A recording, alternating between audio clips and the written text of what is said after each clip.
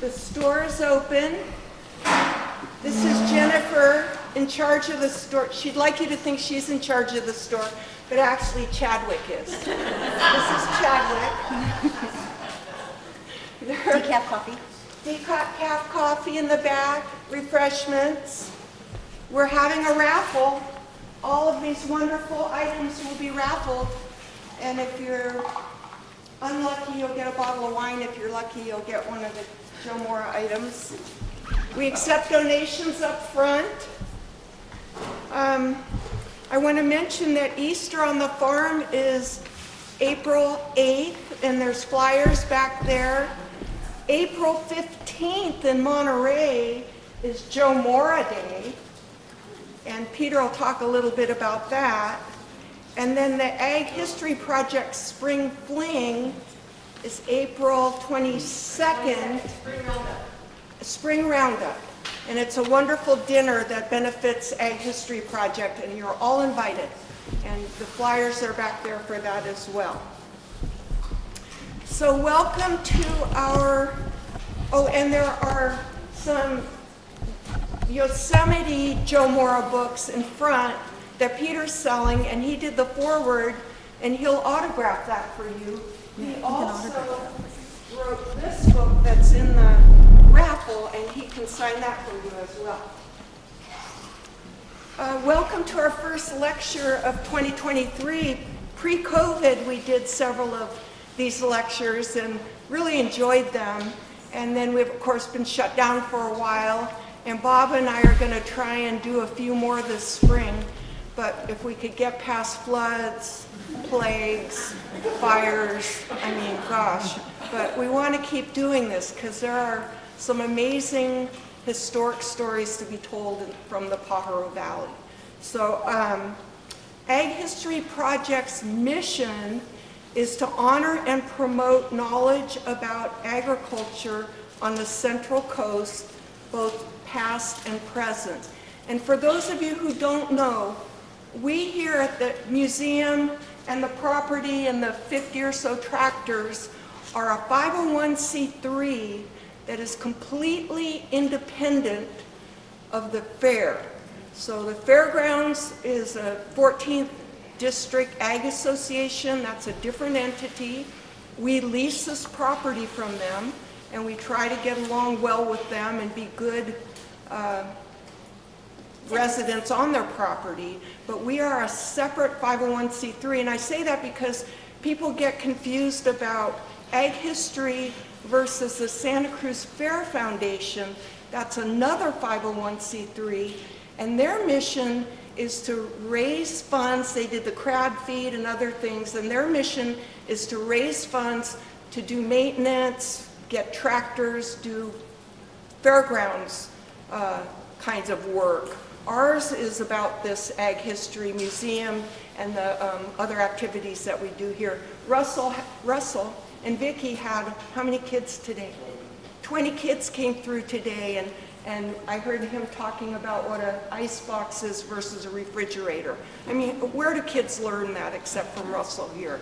I mean, this is really a wonderful place here, as I'm sure you've all seen. Now to Jo Mora. About 30 years ago, I met um, a saddle maker in Salinas. His name was Bob Matson. And uh, he and I became fast friends, and there's a couple pictures of him back there, one with Diane Cooley. He came a few years ago and spoke about saddles with Diane, and Diane had her mother's saddle. This is Diane's mother's saddle, and she had her, and that's a Visalia, and her own Olsen Nolte saddle, and Bob and she carried on. I just said hello, and they never stopped talking for an hour and a half once, once we got that going. But Bob introduced me to all cowboy cultural things that were Central Coast related. And he said, you have to do Jo Mora. You have to get Budgee Budgee Cottontail. You have to fall in love with pictures like this and the book. And he said, you have to get the 1952 Arizona magazine, September, because it has those cowboy prints that are framed back there. That's my frame.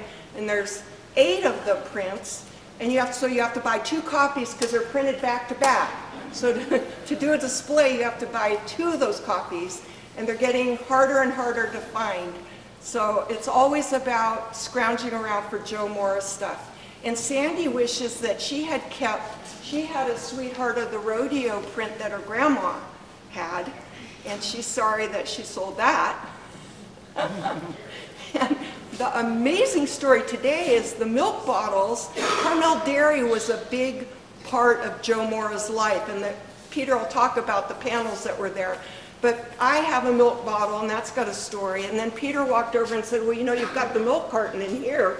I've looked in there 15 times for Jo Mora stuff. And he walked right over and saw a Jo Mora, the artwork on the milk carton in there is Jo Mora artwork. So, wow, it's just amazing. Anyway, I'm a devotee. Um, Bob Matson passed away a year ago, April, and as you all know, so we lost Diana about that same time. But before he left, he introduced me to Peter Hiller.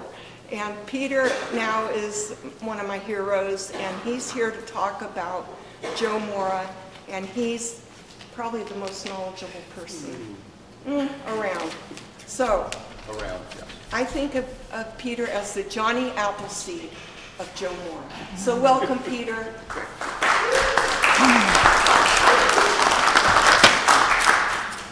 Thank you very much. Thank you for having me. Um, Mary and I have been talking about this for years, without exaggeration. Um, certainly, as Mary rattled off, we've had numerous interruptions in the last few years, um, but I'm thrilled that it finally has happened, and I am thrilled to have an audience like this. Um, I will express a little frustration, and you can decide how you want to take it. Oftentimes, I talk about Jo Mora in Monterey County, and he is well represented in terms of his artwork in Monterey County. Monday of this week, I talked about him in San Francisco, and he is well represented in the San Francisco Bay Area. But I have been frustrated by not being able to identify more of his career in Santa Cruz County and San Benito. Um, so I want you to prove me wrong. Now, I can tell you, just by starting tonight, um, I look over here and I see Legacy of the Vaquero. Well, that was Jo to a T. Um, so well represented. The exhibit over here with all items Western, Jo could have told you probably who made every single item that's over there in that display. And then there's the milk, or milk carton. Interestingly enough, the milk cartons are harder to find than the milk bottles. Uh, people had a tendency to take care of a bottle and I think worry about it not breaking. So if they had the foresight to put it up on a shelf, lots of times it got wrapped up and it was hidden away and is, was preserved. However, the milk cartons, step on them, throw them away. You know, so they disappeared right away. So that's a valuable piece there. Um, so already there are connections. And um, just to give me a sense, how many of you came here tonight with a working knowledge of who Jo Mora is? You just raise your hands. Okay, so getting close to a good third. Okay, good. Well, my endeavor tonight is to introduce you to Jo Mora and to just give you a sense of who he was and then maybe collectively we can decide how to embrace him more in Santa Cruz County. Um, I will tell you, I have approached the Art Museum downtown, and they actually didn't close the door on me. They said, oh, we are aware of who Jo Mora is. Um, we'll think about it. So maybe some of you can turn the screws. Um, so go right ahead. Thank you. Um, right off the bat, Jo Mora was a family man. Uh, he had a son and a daughter. In his lap is his son, Joe Jr. Um, in his wife Grace's lap is their daughter, Patty. Um, they were a very tight family. Um, this picture was taken once they moved to, down to Carmel. That would be where they lived for the last third of Jo Mora's life. He was born in 18, 1876 um, and he died in 1947 from about 1920 to 1947, he lived on the Monterey Peninsula, so either in Carmel or then eventually in Pebble Beach. So he actually uh, built a studio in Pebble Beach. Okay. Now I want you to picture a gentleman uh, who embraces his family to the extent that whenever there were celebrations, a birthday, an anniversary, even holidays like Easter, Jo would create what they called a bologna. And this is a bologna for Joe Jr. in 1946. And this is typical of what Jo would do at the end of the year in celebration of the birthday and then the next year coming forward. So all of the little vignettes that you see here are little cartoons about different things that happened for Joey during the previous year. Now, how cute is that? Um, and then the text, of course, coincides with it as well. Um, and that's very, um, very common for Jo to do that. His cartooning style embraced that idea of he did the, he wrote the limericks and the taglines, and then he also illustrated um, the work. So it's pretty cool to have a dad who did stuff like that for you, I think. Okay, next. Now, Jo, um, Jo was born in Uruguay. His father, Domingo, was a classical sculptor. His older brother by two years, Luis, was a painter. In fact, his painting of President Harding is in the Capitol in Washington, D.C. Uh, he, he followed a more traditional art path than Jo in terms of that he, um, he focused more as a painter uh, than Jo, who did so many different things that you'll, just, you'll see.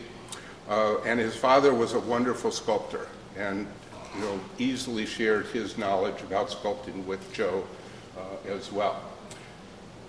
They lived in Uruguay for Jo's first two years. They went briefly back to Spain, which is where his father was from. His mother was French. They did meet in Uruguay, and they ended up on the east coast of the United States because Domingo was following work. Um, there were some big manufacturing companies on the east coast that produced uh, sculptural work on heroic scales, and it was the decorative elements on buildings um, and so he thought he would be busier as an artist on the East Coast. So that family moved there. That's where Jo grew up. Uh, he did his grade school work there. He did some art school work, but he really mentored, was mentored by his father, which he willingly did. I mean, he wanted that to happen. Um, and then eventually he started to earn an income. The first of which was working for the Boston Herald. And this is an example of an illustration that Jo would have done um, at the request of the newspaper's editors. So you can see it's signed J.J. Mora. Um, this is in the days before there were photographs in newspapers. Um, that technology had not been developed yet, so it would have to be an illustration, and generally speaking, an on the spot or based on something on the spot. So the editor would send Jo to the scene of the crime, say, you know, please do bring back some illustrations, and then those became the visuals that were in the newspaper. So he did that for several years with the Boston Herald. Next, please. And then he, I think it's buttoned down a little. Oh, no, oh, no, that's all right. That's it.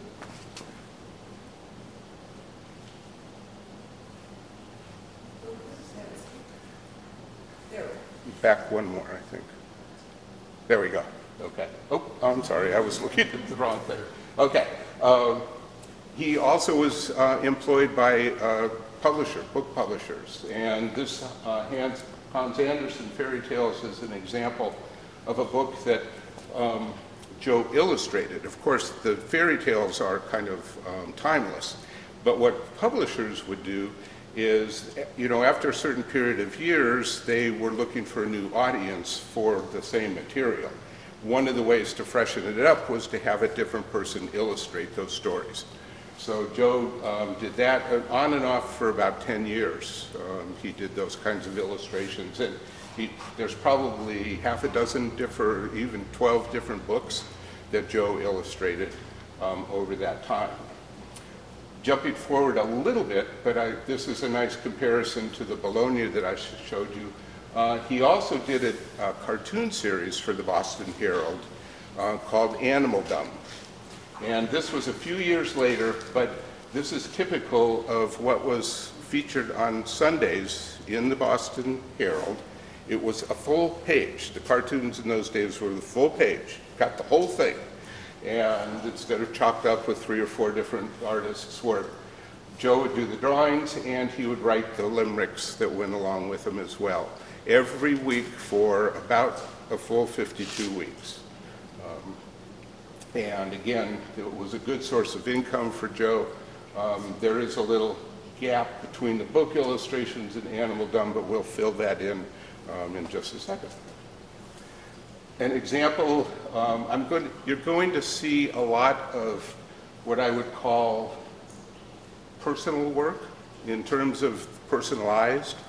Um, but I also want you to know that as an art student, he could draw with the best of them. And it was that, that's often quoted idea is that you have to learn how to draw before you can learn how to undraw. Um, so, and so Jo, th- this is just typical again of um, something while he was growing up that he could, you know, do these wonderful, wonderful pencil drawings.